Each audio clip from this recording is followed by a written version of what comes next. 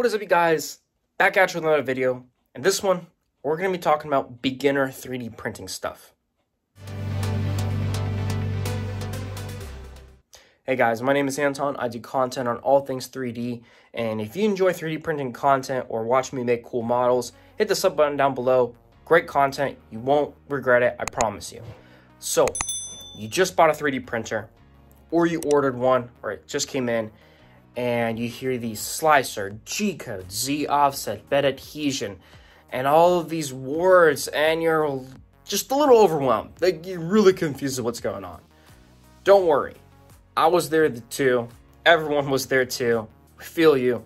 And this video, hopefully by the end of it, you're gonna have a full comprehension of what all of those basic things mean, and you'll have enough information to feel confident to start 3D printing your own stuff today. What I think is very important is first of all, understand all of your 3D printer parts. So we're gonna go through that, what they do, why they do it, and that'll give you a better grasp on your printer and how the whole system works. And then we'll go on to the words such as slicer and all of that. So you got a printer.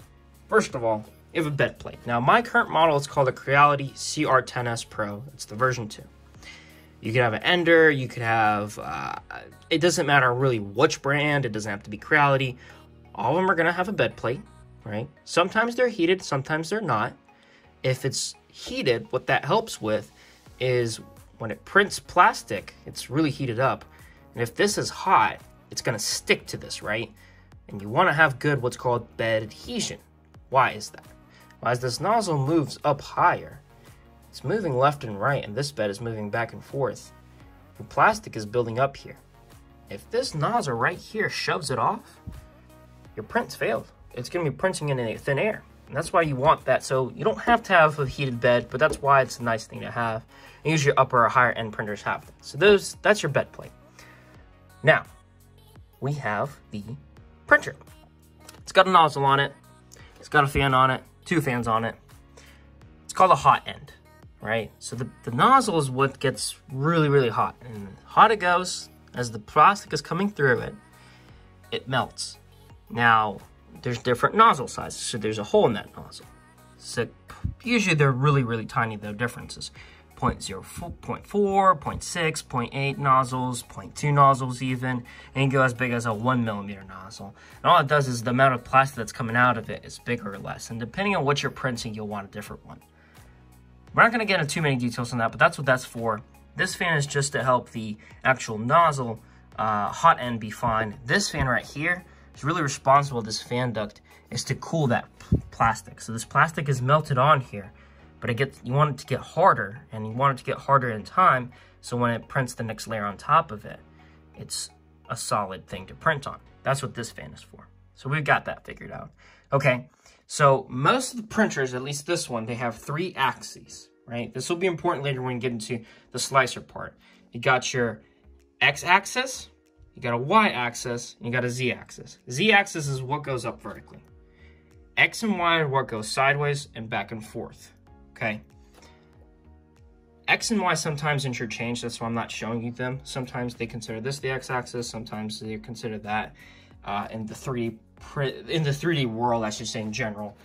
But usually one or the other, and you'll see in the program which one is selected. Z is always going to be going up and down. So, figured all that out.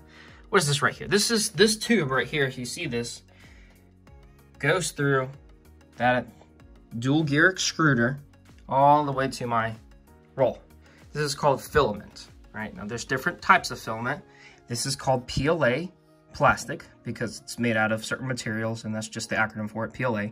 There's PETG, so that plastic is gonna be more harder, possibly more durable, but you gotta heat up your nozzle better to print it. Um, there is TPU, you may have heard of that. That's flexible plastic. It's more flexible than PLA. PLA Plus, that's even more flexible than PLA, but not as flexible as TPU or PETG or anything like that. There is a whole bunch of types of filaments, basically. But that's what that is, and that feeds down through your extruder. Now I said dual gear, mine has two. You'll see these gears, there's one on this side and on this side. These are what are responsible for pushing your PLA filament out here, right? And it's actually gonna move it forwards and backwards. The reason it moves it backwards is if this is being printed and doesn't need any more pushing out and it's being lifted and it's moving around the print, you want to make sure it pulls that all out so it doesn't just, you know, pull glops all over your prints. So that's what that's for. This is a nice Capricorn tube. Sometimes this right here can get stuffed up with PLA plastic. Imagine if this keeps being pushed and then it gets stuck and jammed and then you have a major explosion mess. So that's why it's nice to have a this kind of tubing. You want it kind of nice, but you don't have to. Okay, so we got all that figured out. This here does not come in your printer. This is a camera. This camera is connected to my Raspberry, it's a Raspberry Pi. Basically a very cheap computer, Uh, 35 to $40. Now, when you hear the words Octoprint, it's just the specific type of program you run on a Raspberry Pi that helps you do stuff for your 3D printer. We're not going to go crazy into it, but think of it as a smart adapter for your 3D printer so you can monitor your prints remotely. So when you first turn on your printer, you're going to be greeted with a screen. It's going to have different stuff and settings. And when you go to the print parts, this will show your SD card. This is card right here. And it's going to have some default prints. Okay. You can literally click on any of them. Now I have, this is my custom one, but you'll have some sort of like a cat, maybe a benchy, something.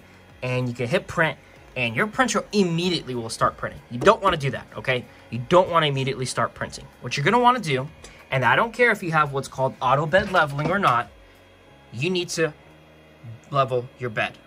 You see these right here on the corners? They may look differently on your printers, but you have one on every corner. And what you're going to do is you're to make sure it's leveled. So here's my leveling right here. It's to make my go auto home, which is the same exact direction all the way to the corners. Keep in mind when you're installing your printer, you want some room in the back. It will go past where it's at. Okay. So you need to make sure that this surface is perfectly flat. And just the visual eye, it won't be able to do that easily.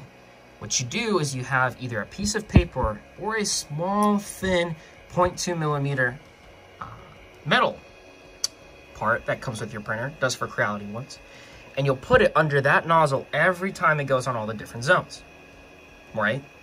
So there's 25 zones on this, little boxes that it's split up. And it's gonna measure on this printer if it's perfectly there. Now, some printers that don't have auto bed leveling, it's okay. All you do is you just keep tweaking these guys and test with your paper if the nozzle is sticking too hard to it or not. This part is very, very, very important and crucial for your prints.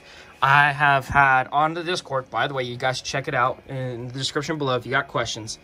All the time, people have different printer issues, and you can have a plethora of issues. The problem was they didn't know how to bed level. I too didn't know how to bed level when I first got a printer. That's the first thing you want to do. You want to build your printer correctly and make sure it's perfectly level before you print anything at all. Okay. Now I have a video instruction for this model. If you have a different one, look those up online. I'm sure there's plenty of resources but leveling is a very, very crucial part for your prints.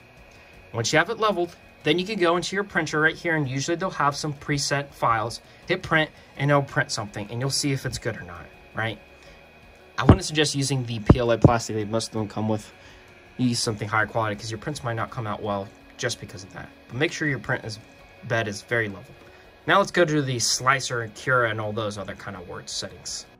So let's let's start with the basics you're going to need a STL file to print on your bed, as you see right here. What is an STL file? It's basically a 3D file. Now you can't just drag and drop these files and your printer will print them. Unfortunately, doesn't work that way. But before you get to that, where can you get these STL files? The main website is called Thingiverse. As you see here, there's a plethora of files. You see it, you download it, you got your file, you can print it. Cute little Eevee, Cybertruck, Baby Yoda, a mask. All of these are 3D files that people made and are sharing for free. So you've got that done. You got your file. Now you need to translate it into what's called a G-code. See this funky looking stuff right here? That's actually what your printer, how it talks and communicates. It's going to read off of that and it tells it, oh, this is where I moved a nozzle. Now, obviously, you're not going to be working with something crazy like this. What you're going to be working with is called a program called a slicer. It's what takes your 3D file, the STL, it could be an object file, etc., and makes it into a G-code, which your printer can read and print off of, okay? Slicers, there's different ones of them. There's a whole bunch of programs, but the industry standard for the most part is Cura. I highly suggest Cura if you're just starting out printing. If you have features you dislike about it, you could later on switch it, but Cura works great for all. when you set up Cura, you'll be greeted with what kind of printer you want you using with. And I have it set up ready for mine. You don't want to go through the settings for yours and make sure you get it all set up because as you see here, this size of a printer may not work for yours. And you want to make sure that's all correct. I have a video detailing Cura settings and stuff like that. Go check it out. It could be helpful. But here we have our slicer, Cura. So now I have this nice file of Baby Yoda. It's an STL file, remember the 3D printed ones. I'm gonna drop it into my slicer program, right? Here's our Baby Yoda, and this is exactly how it came in. Now, you do not want to print this like this. You do not. So, you can just click on this tools right here on the side and rotate it 90 degrees. There we go. For the most part, this is how you want to print it. So you just hit slice. Again, depending on your computer, how fast or slow it is, it'll slice it faster or slower.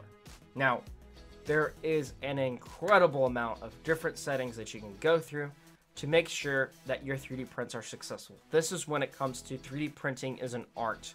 You have to learn about it because as you see here in my preview right now, this is what I'll actually print. It's gonna look like that. Kind of messy looking, right? It's got this, it's not gonna be all three colors, right? But it's gonna have all these blocks globs and all of that. Why, why is that? Why is that? Well, here you go. We'll go down to the layer settings. Layer by layer, this nozzle is going to move around here. So you can see there's my nozzle, and that's what it's actually going to be doing, right? It's going to be going through all those lines just like that. Now, if you understand that, when you print, let's say this ear right here, can't print this out in thin air. You need to make sure it has something to put it on. So you have supports. Now you see this weird stuff inside. Well, that's the infill, and there's different patterns. Mine is a gyroid. There's boxes, squares, triangles, hexagons, everything. This is when it comes to slicer settings. Now I have a whole video dedicated to that. Go check it out. But before you do any of that, you need to slice any sort of STL. This would do that. You'd save it as a file. It would be .gcode. Literally, the file will be, you know, baby babyyoda.gcode. And that file you can put on an SD card, and any 3D printer should know what to do with it. This is how you print your own 3D files that you want to do, not the preset ones after you made sure that everything is correctly calibrated. You got your print bed level. We know what that is now. We got good bed adhesion. The thing's not flying around. We know what that is. We got our slicer program. We made our G code. We know what STLs are. You're good to go, right? After this, all you got to do is just get better. You got to learn your settings. You got to learn what your printer likes, what it doesn't like what kind of supports, print orientation. You know, I can print this Baby Yoda upside down so the ears will be closer to the ground. Maybe that'll be better. All of that is a whole bunch of stuff that requires a lot more time than I want to dedicate this video to. But this is how you can just get started. And after that, you can improve on those skills and then do upgrades on your printer, like uh, a wham bam, quieter fans, and you know, little 3D prints for whatever, if you have an ender or something like that there's a lot of stuff you can do, and as you print, you'll learn of things that you want to improve on and that you're missing. But for now, I would just start with this. This is enough, I believe, for you to be able to start today printing and understand what software you want to have installed before you get that 3D printer and you're anxious and even have the files ready for it. You can slice those files right now with the 3D printer and be ready to go with it as long as you know what sort of nozzle size your printer has in the print bed.